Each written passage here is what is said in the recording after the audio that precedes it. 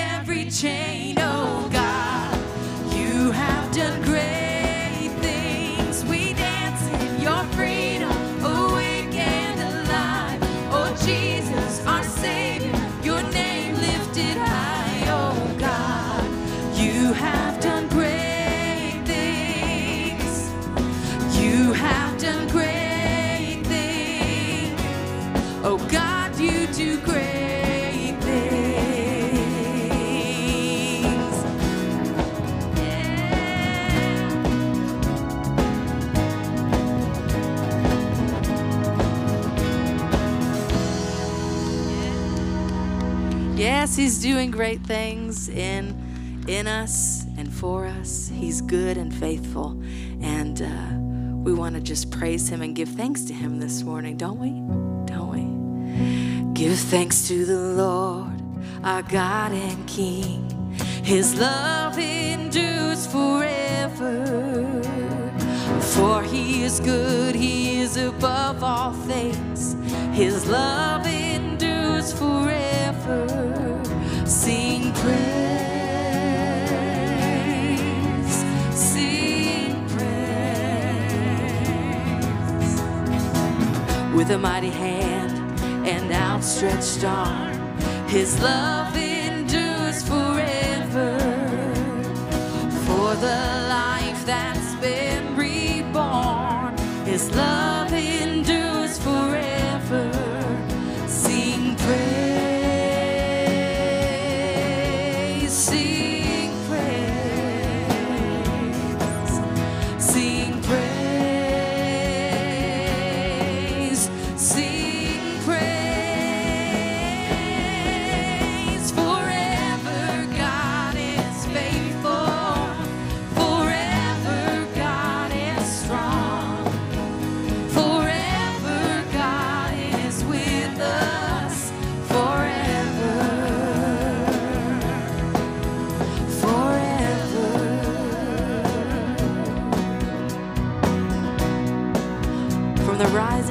setting sun, from the rising to the setting sun, His what?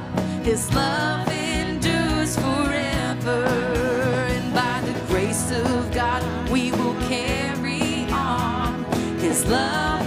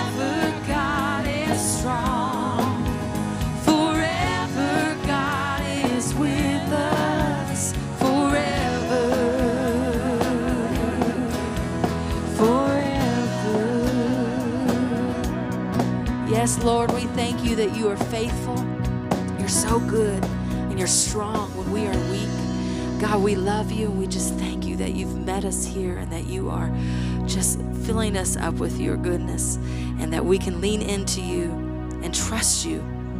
Even when the times are hard, we can trust you because you are faithful and you are doing great things in our lives here in this community, in our city, in our nation, and in the country, in the world. Lord, we love you and we thank you. That's your name we all said. Amen. You can have a seat.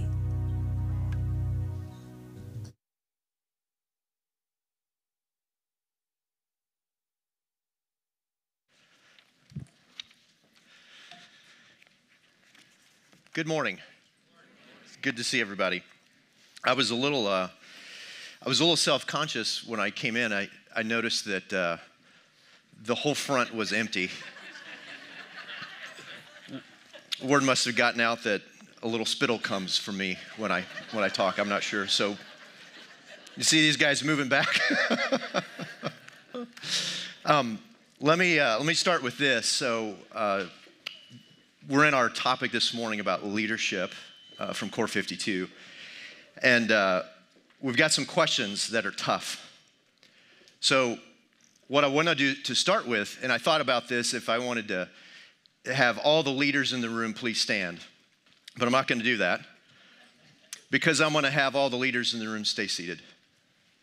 Good, you got that right. Everybody in this room is a leader. And what we're going to talk about today, and for those of you who are standing in the back, you don't have a choice. You're just leaders anyway. Uh, you're forced to do that. Um, what we're going to talk about today is, is leadership. And um, the thing about what we're going to talk about today is probably the, the most solid leadership practice on the planet ever. And for those of you who are in, in uh, the room who, who would maybe see yourselves or you've heard of yourselves as control freaks, this is especially for you and me, because I fit into that category. So, the, the question that we're going to deal with today is what, would, what do you do when you're the most powerful person in the room? What do you do when you're the most powerful person in the room. And when you think about people in your life who are leaders who you follow, you're going to apply what we're going to learn today to those leaders. And the question is who do you follow? What do you follow? And why do you follow these leaders? And I would say those who you do follow, who you want to follow, they're going to do by nature what we're talking about today. And those who you really don't follow are probably not doing what we're going to talk about today. So let me get into this. We're going to talk about Mark chapter 10, verses 43 through 45. But before we get there, let me set the stage. So, Jesus, this is uh, the late stages of his ministry. So, this would be the third year of his ministry at the ripe old age of 33. He's gone out to preach. Now, remember, this area that he's preached in, that he's reached out to, is not that big of an area. So, Jesus' entire ministry, if you think about where Evansville, Indiana is, to Bloomington and sort of draw a circle, that's about the circumference of what where Jesus spent his entire ministry. But the impact that he had was massive. And so Jesus is at the height of his ministry. He's got a tremendous following. I mean, he has become more important than the Passover because he's got more people following and so Jesus is, it, it, Mark records this one day, and this one day has been talked about, preached about, uh, taught for, for over 2,000 years because of what, what happened here in Mark chapter 10. So Jesus starts the day out with uh, conflict from the Jewish rulers, right? So Jesus starts out, and they come to him and they try to catch him in what he's saying and what he's thinking and what he's teaching. And the issue was divorce. And so they come to Jesus and they say, What does the law say about divorce? Well, that's a catch 22 because the law says uh, about divorce if someone has been unfaithful, right? And so the interpretation of unfaithful was spun all kinds of ways. It's still spun today. And so that, that specific term, they were trying to catch him in. So what he said was, uh, which, which he usually did. It took him about 30 seconds to dispel the catching of this, of this group. And he really talked about the heart of marriage. And he, and, he, and he really didn't answer the question because they knew by the end of it that he answered it. So Jesus moves from there and he moves on. And a bunch of parents are approaching Jesus as he's walking along and they bring their kids. And really, all the Bible says they wanted to do is to have Jesus just touch their kids. The disciples came in and said, Jesus, you know, you don't have time for this. And Jesus said, Oh, no, I make time. In the divorce situation, Jesus took time and set aside with his disciples and taught them about marriage. Here, he took them aside and taught them about the importance of kids. Uh, the Bible says about that time, as Mark recorded, Um, a rich young ruler comes to Jesus and, and he says, Hey, give, I, I really want some of your moxie. I want eternal life. But what we, what we glean from this is that what he really wanted was Jesus' power. And so Jesus turns the question to him and he says, Are you willing to sell everything you have to follow me? And the Bible says the man went away sad. Again, Jesus took his disciples aside and he taught them about the power that money has over people. So they're going along from there. The Bible says, from there, then they went. And then Jesus started to talk to them about his journey back to Jerusalem, his journey back to Judea, the region. And it was in that region that he said, I'm going to be killed here. The, the Son of Man is going to be put into the hands of men and is going to suffer. And then something happens that has always kind of confused me. So it says that James and John, the two sons of thunder, we understand why they're thunderous here in a moment. They come to Jesus and said, Yeah, yeah, we, we understand the suffering. We understand it's going to be hard. Yeah. But what we want to, know is can we sit on your right hand and your left hand side as your key cabinet, as your cabinet leaders? So imagine that. Jesus comes in and t- says, I'm about to die. And we say, Yeah, yeah, but that's fine. But really, what we want to know is can we be on your right and left? So they're seeking they're seeking power. And then it also says, so Jesus set them aside and started to talk about those places are not reserved for me, they're reserved for my Father. Then that says they, so Jesus takes them aside, puts them on a rock. There were probably Easter lilies around the rock. I just made that up, but there are Easter lilies there, and he's teaching, he's teaching, he's taking time. And then he says he gets up, and then an argument breaks out. So he has to go back to the rock with the Easter lilies, and he has to sit down with his disciples because the disciples were arguing with one another the 12 cabinet members start to argue with one another. Why do these two get to be the greatest? We deserve to be the greatest. I could just imagine Peter saying, I'm the rock. And Matthew saying, Well, I have more education. And they're arguing. So, this is what power does, right? This is what power does to leaders. We begin to argue for position, we begin to argue to be at the peak of the pyramid. And that's how our world saw leadership then and sees leadership now. And then we get to our text, which is awesome. In uh, Matthew 10 43, Jesus says this Not so with you. And let me stop there. He says, Not so with you. And then he goes on with anyone. If you're in the room or online right now, and you get in an argument about who's right Listen to Jesus' words. Not so with you. It's not how it is with you. So let me set your heart there because everything after that is, is not so with you. You're following me, things are different here. Anyone who wants to be important among you must be your servant, and anyone who wants to be first among you must be your slave of everyone. Even the Son of Man did not come to be served, but instead came to serve others. He came to give his life as the price for setting many people free. And so we're in this third, 30th week of, of Core 52. Um, there's 52 weeks, so we're pretty far into this. And I have to tell you, this for me was a showstopper. Because if you're visiting or if you're hearing this, uh, we've been kind of going through the heart of what it means 52 most impactful teachings of Jesus, teachings of the Bible about getting close to God and changing our hearts. So, this particular week on leadership, I asked the question a minute ago what do you do when you're the most powerful person in the room? Now, that specific question was asked on January the 12th, 2013 Andy Stanley, many of you know who he is, he was asked to preach at uh, President Obama's second inauguration at the morning church service, which is, a, which is a tradition. And he comes into that service and he starts to ask this question. Now, here's what's interesting the media went nuts. Everybody in the room started to debate the church and the state, which is exactly what was happening with the Jewish rulers and the rulers, what Jesus called of the Gentiles. There was this debate. Neither of them agreed with Jesus.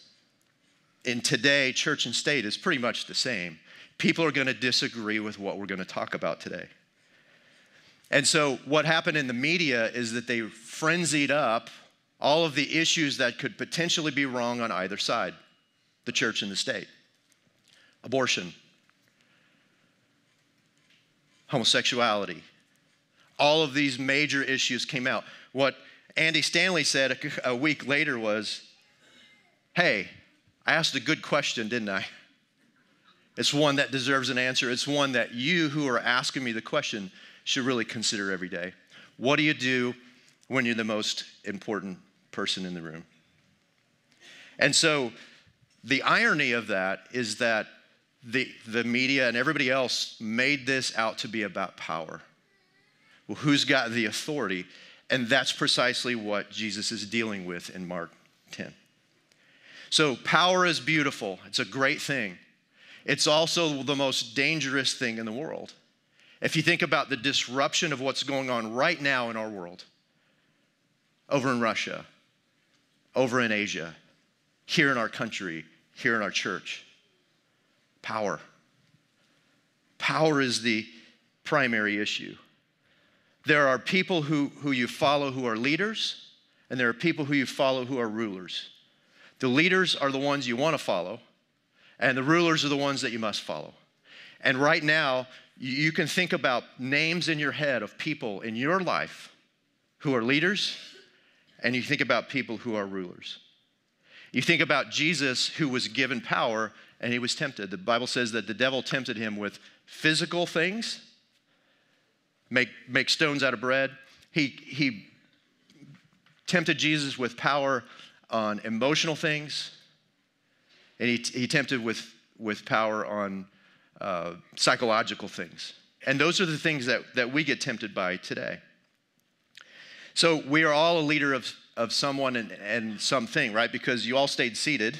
You said, I'm a, you said I'm a leader. Nobody stood up.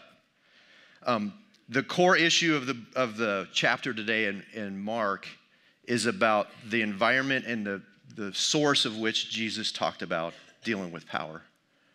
So those five times that I mentioned in the, in, in earlier in chapter 10, five times Jesus stopped and he took time and he set aside and he taught. Time is of the essence. Time is the issue for the leader. Our, our author of Core 52, Mark Moore, said it this way What did the leader of all time, the goat of all time, the greatest of all time, what did he do when he was the most powerful person in the room? He put a towel around his waist and he went around the room one by one and he washed feet. The lowest position of any servant. Servants would have been servants would have been common. Servants would have been everywhere. Servants would have been at the place at that Last Supper when Jesus took the towel and wrapped it around his waist. And Jesus said two things become a servant. And then he went one level more.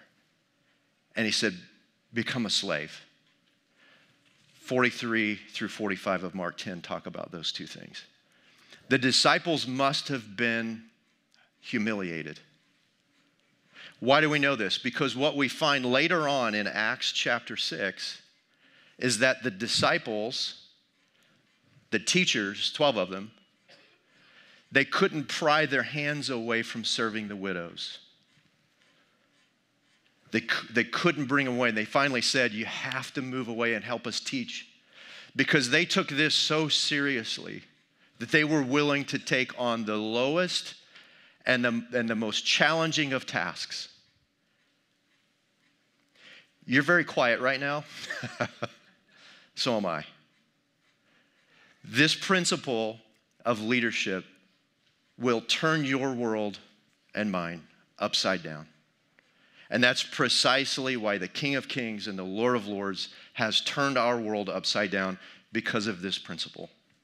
Mark Moore said it this way Any of us who dare to call ourselves leaders had better be proficient with a basin and a towel. And that is true. So we don't have time to unpack every principle of Jesus this morning. We'd be here the rest of the morning.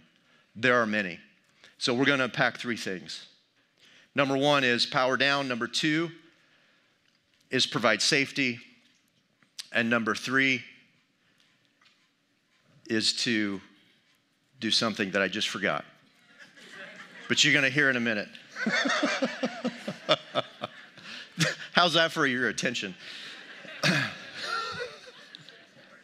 it's weird to stand up here. You should do it sometime.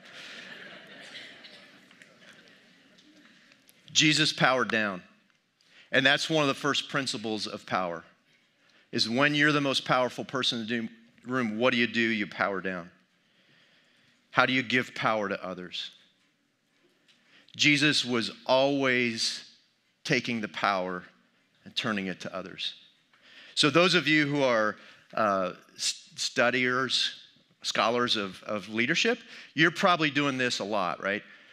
You're, you're looking at podcasts, you're listening to, to, to videos, uh, you're, you're reading books, you're going to conferences. I, I did this for a long time as a leader.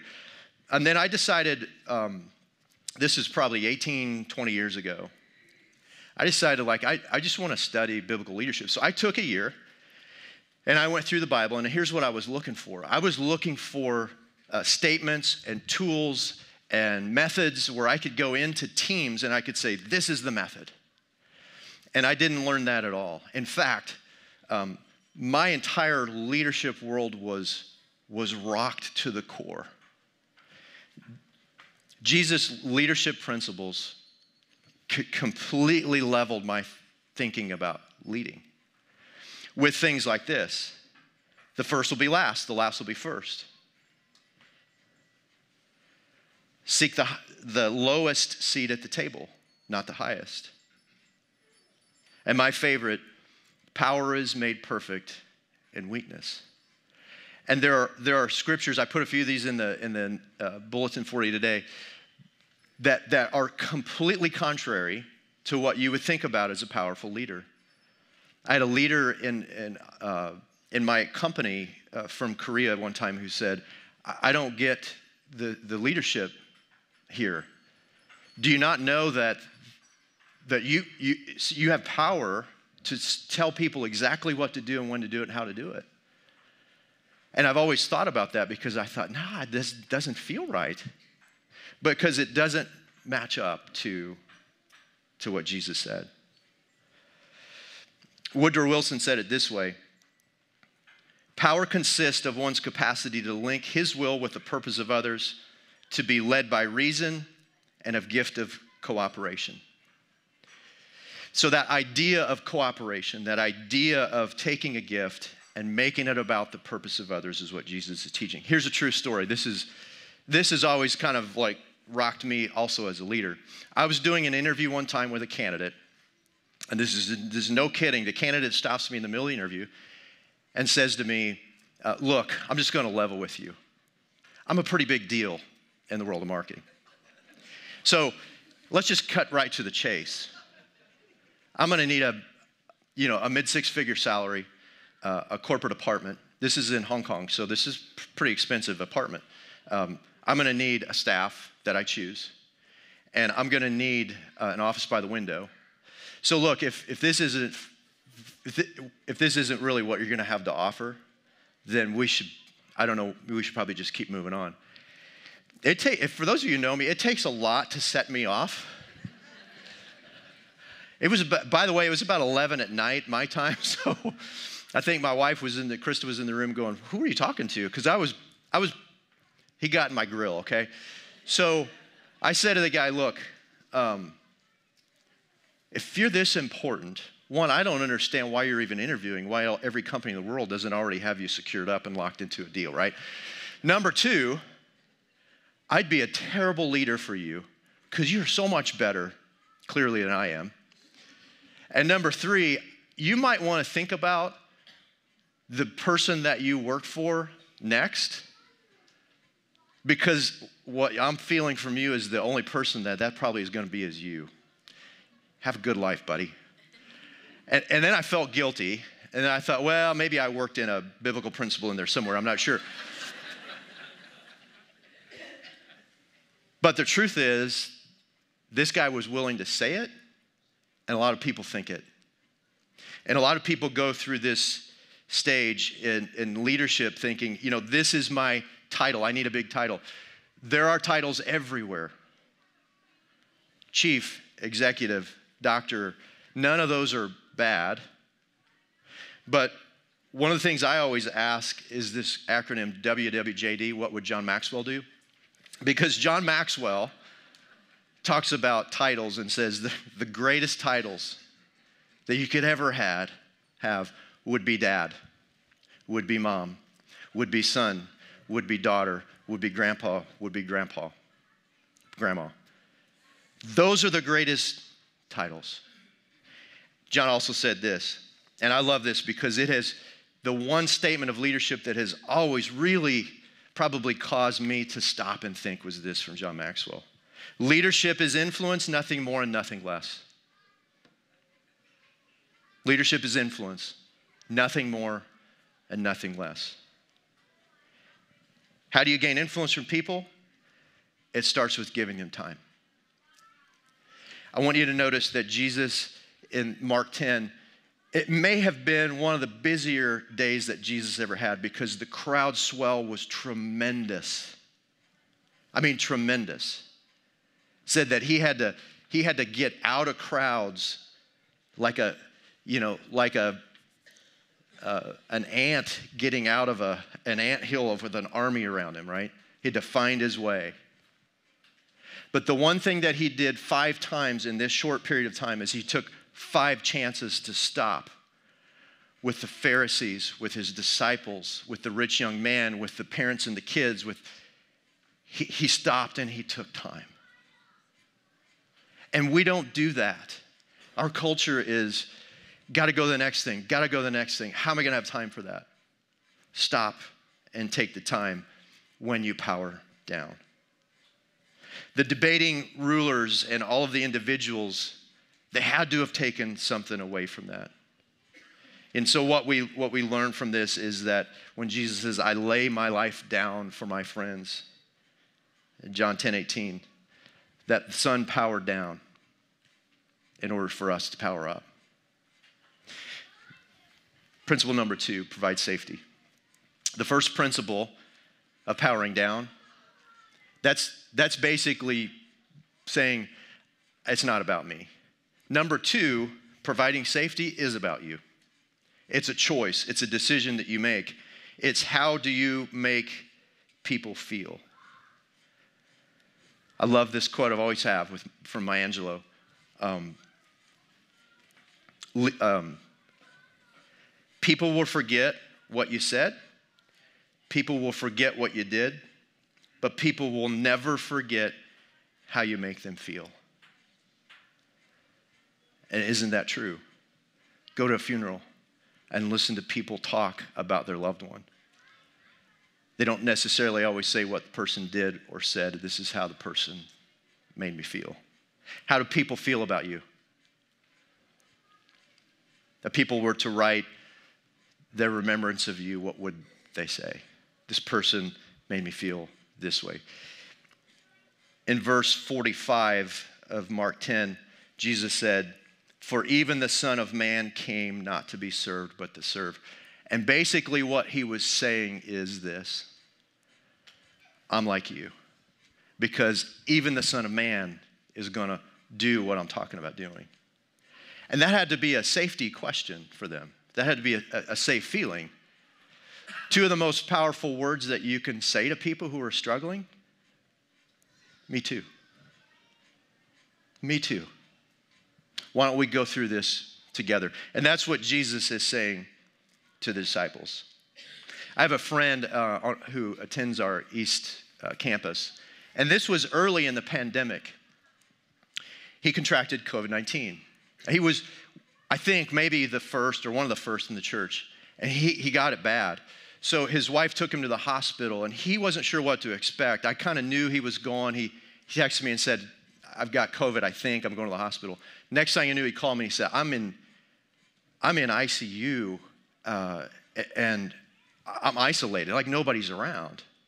And so we talked over the next three days. And by the third day, we spoke, and he couldn't talk. He said, I'm going to die. Oh, they're going to put me on air tomorrow. I, and that's about all I could make out. And I felt powerless. And I thought, oh my gosh. I, I didn't know what to do. I talked to his wife. She didn't even know what he was saying. And all I could do was pray.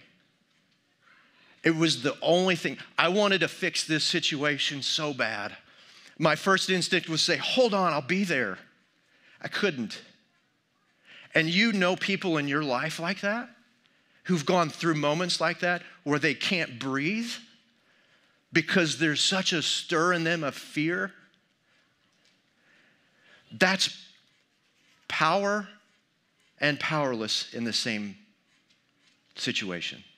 The only thing I could do and say was, God, I don't know if he's going to live through the next 24 hours. I, I don't. I can't fix this. Glory be to God. The next day he called me and he said, They're surprised I didn't have to go on event. And over the next several months, he slightly improved and eventually, and today he's breathing, praise God, and he's active. But he said, You know what? I'm never, ever going to doubt the power of prayer. I've never met anybody, I don't know about you, I've never met anyone that I've prayed with, whether it was a stranger waiter at a restaurant or somebody in this congregation or somebody that, that I work with who didn't say, No thanks, I don't, I don't need that. You can stop and pray with anyone at any time. Praise God, we have the freedom to do that, but that's giving over your power. That's giving over your power to the only one who can make it right. One of the things that you need to, we all need to understand, and this, there's a lot of study out this right now. I'm not going to go through all the facts. The world is grieving, okay? The world is experiencing grief. None of us are escaping it. What's happened in the last couple of years, it's been just slightly over two years since the pandemic and the lockdown, with canceled sporting events, canceled church, uh, we're doing it online, working from home, seeing your kids having to go through things, yourself, your, your marriages. None of us are escaping grief. You have to stop and look at that right now. So, uh, Sherry Cormier, who's a, who's a psychologist and a, a grief specialist, specialist, says it this way There's a common grief that we watch our, when we watch our work, healthcare, education, economic systems, all of these systems that we've always depended on destabilize. In fact, it goes a little deeper. Grieving people are everywhere.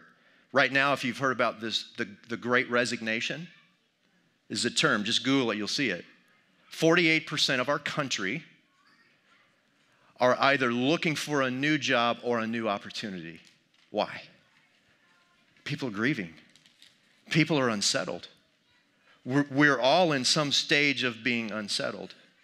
Dr. Amy Edmondson, who's a Harvard Business School professor, coined this term psychological safety, and it is on the rise, especially in organizational leadership psychological safety defined as uh, the belief that anyone can speak up, share new ideas, ask questions, notate concerns or mistakes without fear of being punished or humiliated. There's a, there's a new rise in the need for psychological safety. I think it's always been there, but it is at an all time high because of grief Keep grief in mind because when you're facing people who might have an uproar or a, an outburst or don't squash the person, come alongside the person. They're grieving. They're grieving something. They're grieving someone. They're grieving something. Remember those words, me too. So when you're tempted to just fire back when something isn't going your way because you have lost the power, remember the words, me too. My, my good friend Claudia Mitchell, uh, I think she's here, she's coming to one of the services this morning, has said something to me that, that will always stick with me, and that is this People are going through depression and addiction and all these things, and you're, you're trying to get things done, but you should really never use people to get work done. Use this work to get people done. And it's the same in a family. Never use, uh, never use kids to get family done. Use family to get kids done. And you could apply this principle in whatever area of your mind that is working on you right now. And I will say this as a side note um, this grief is real. So, one of the things that Sherwood Oaks has done and will continue to do for many years, Claudia leads this ministry, is that we provide counseling. We provide grief care, counseling care, marriage care, mental health care, all kinds of, of care. Just this week, had three people who approached me beyond the fact that they're approaching others in the church with specific and tremendous needs physical, emotional, psychological. It's everywhere. So if, if you have a need, I think I put this in the, in the bulletin. There's a, um, there's a website, but you can go to uh, gowestside.org or you can go to socc.org and you're going to find help.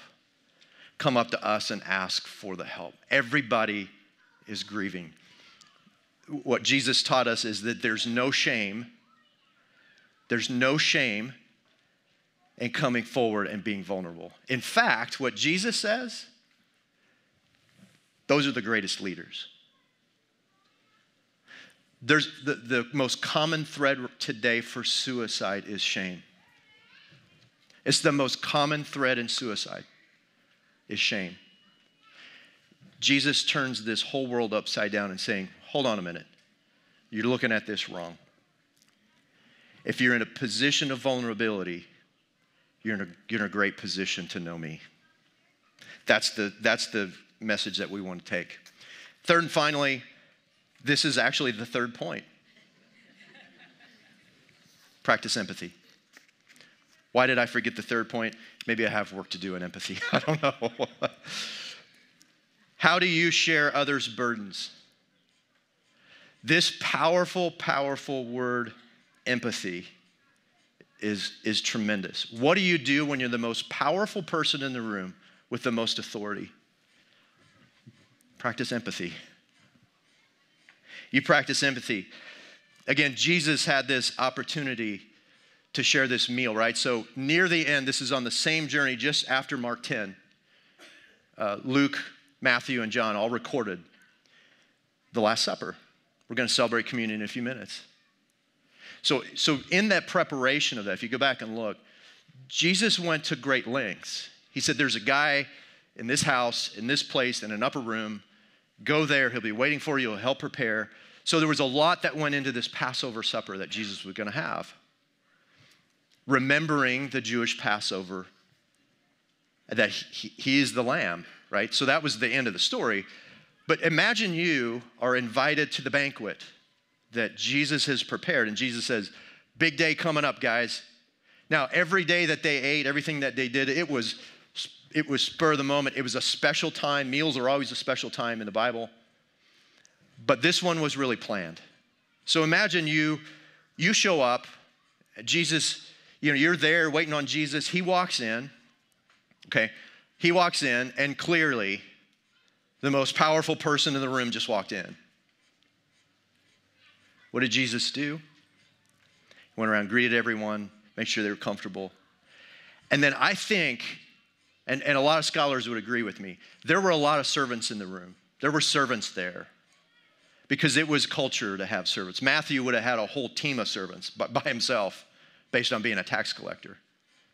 There were a lot of servants in the room. Jesus goes and grabs the towel and the basin, which would have been what the washing of the feet would have been the lowest position in the room.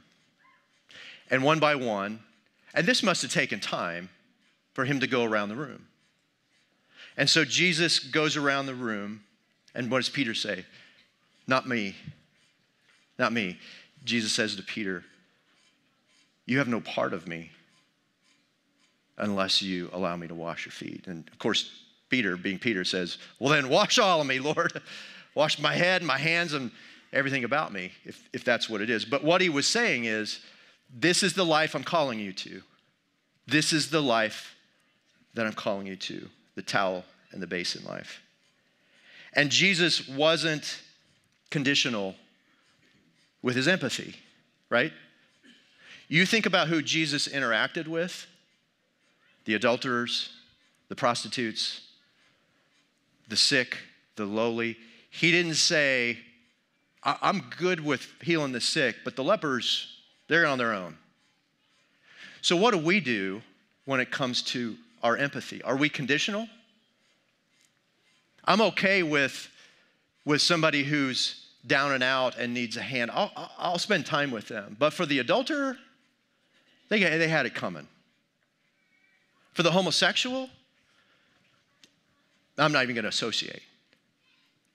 For the person who's completely lost in a, in a sin that I personally don't agree with, as far as I'm concerned, they're on their own. Now, let me say that that doesn't mean that you biblically compromise your position, but you can show empathy to anyone and to everyone. And so, where do you stop? Where do you start? Assume the best instead of believing the worst. Another Andy Stanley, just, just to put, put it where it belongs. Do you assume the best or do you believe the worst about people? And again, the room is awfully quiet right now. And trust me, this one sits with me each day. We were talking to Mallory last night, our daughter, about this same principle.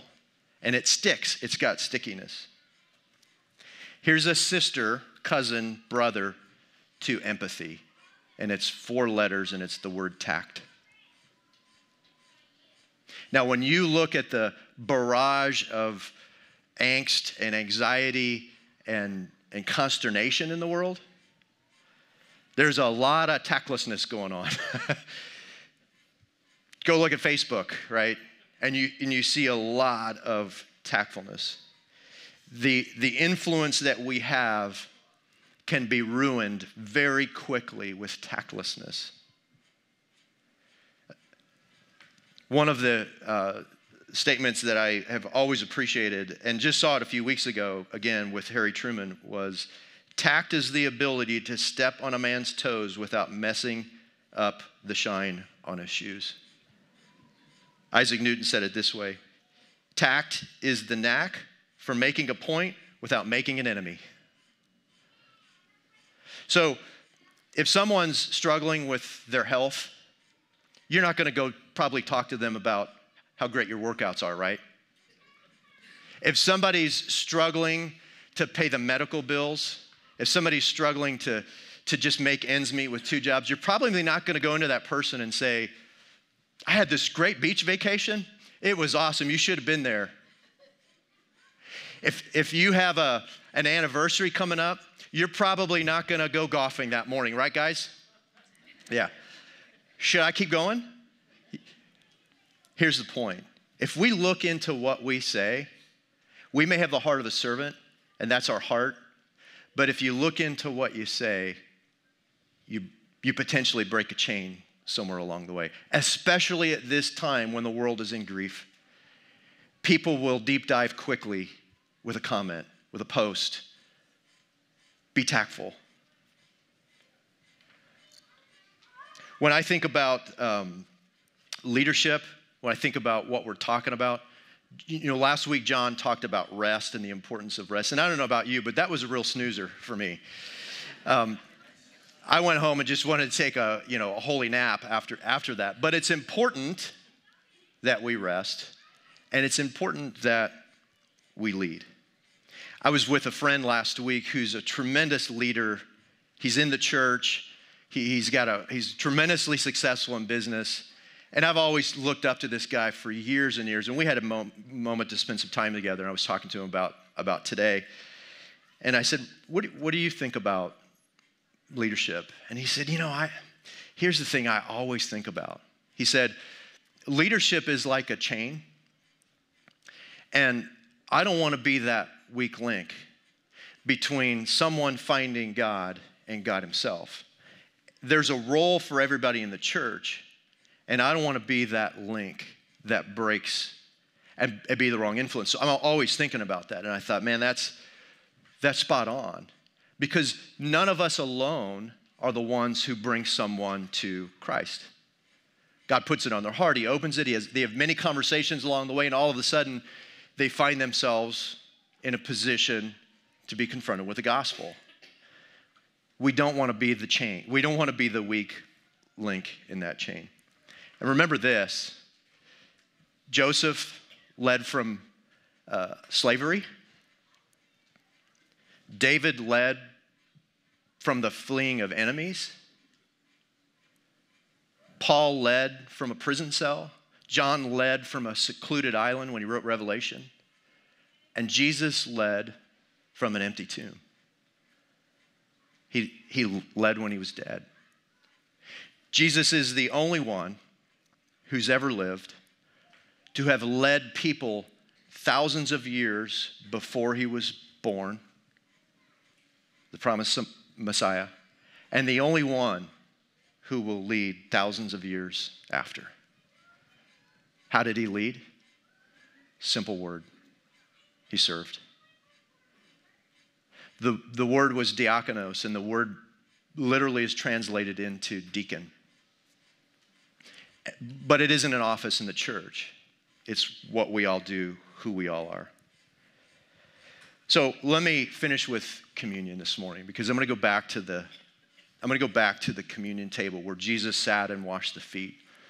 And his promise to the room was this I'm going to I'm going to take my broken body and it is going to be poured out for you. So when you when you meet together and you do these things, just remember Ephesians 4:12 is one example. And his gifts to the church were varied. And he did this to fully equip and perfect the saints, that's us, God's people, for works of service to build up the body of Christ, the church. What we do at communion is a building. And each week we, we take communion, we lay another brick in the foundation of our lives, of our hearts, but we celebrate each week communion because we've committed. We want to serve. Let me pray with you as we take the communion. Father, uh, thank you for this morning. Um, thank you for teaching us uh, through Jesus that the highest position that we can ever ask for or imagine isn't a title, but that through serving, God, you sent your son who turned the world upside down. And, and this morning, our hearts are turned upside down. Yes, it's challenging, but God, we all know that what Jesus was representing and serving was your nature. And so, God, how can we do anything else? Help us in the moments when we want to go run to things and people and leaders that that really only offer empty promises. When the only promise that we have is celebrated this communion time. And the one who said, I'll lay down my life for my friends. Thank you for doing that. We love you.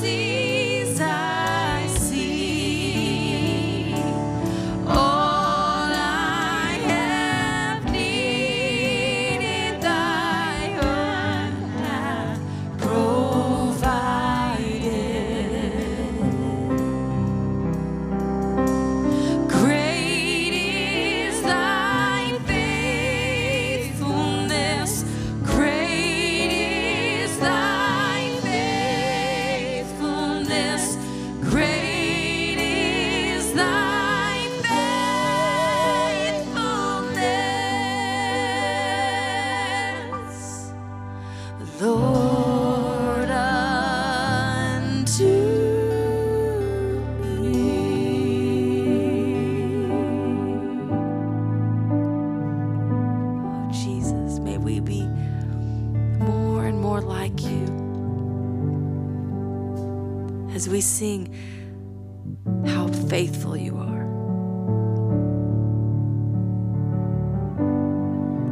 As we lead others, as we lead in our families, as we lead in our workplace, as we live our lives, Lord, that we'd be more like you.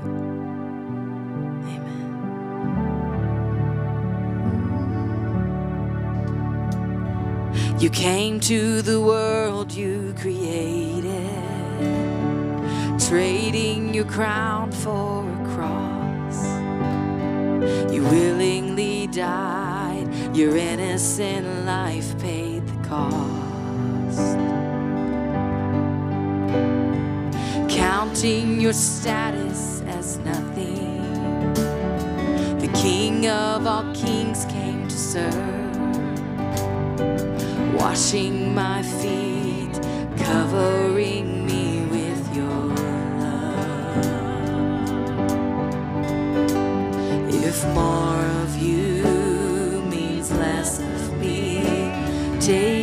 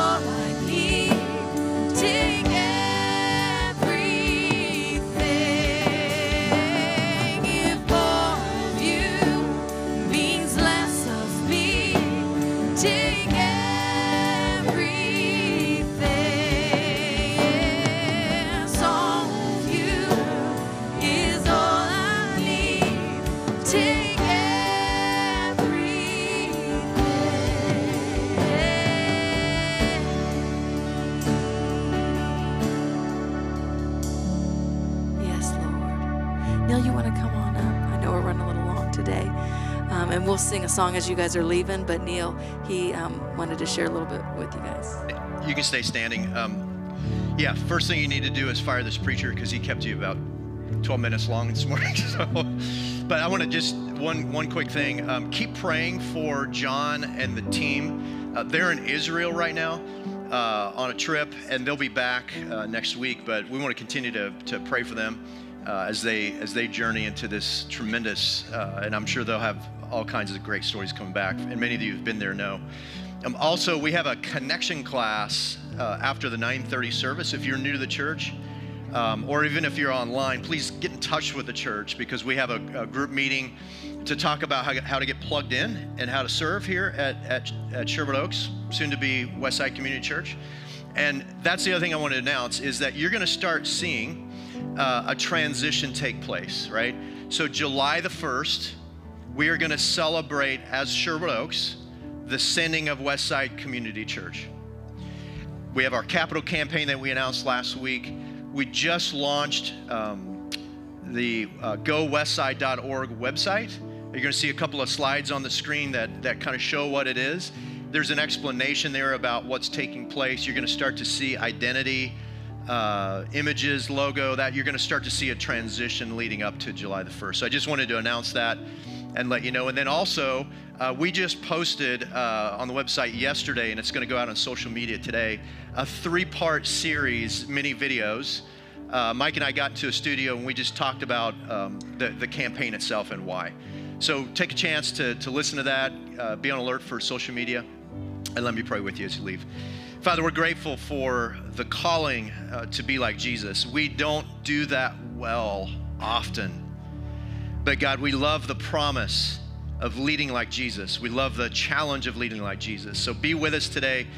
Go with us. Help us to take one thing that we've learned today from your word and apply it to our lives so that others might come to know you. And we lift it up in the mighty name of Jesus. Amen. Have a great week, everybody. Have a great week. Empty hands held high, such small sacrifice. If not joined with my life, I sing in vain tonight. The words I say and the things I do make my life so sing, bring a smile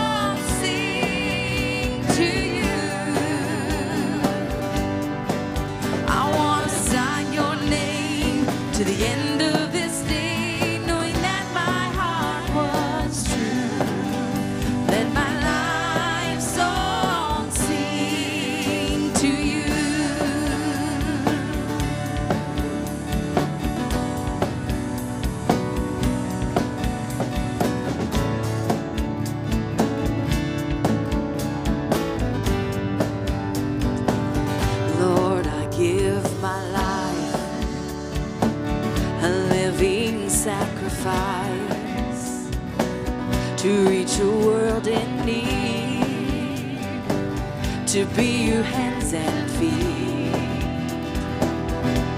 May the words I say and the things